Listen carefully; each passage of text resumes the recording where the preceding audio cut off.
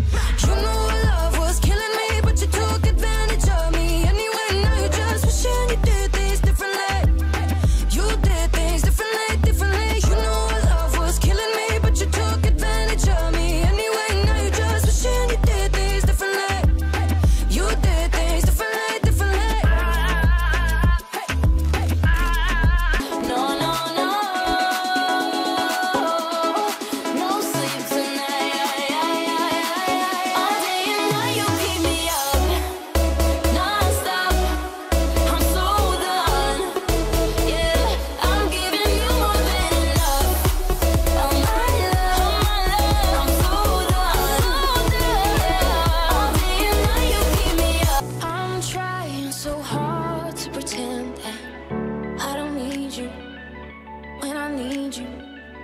I'm trying so hard.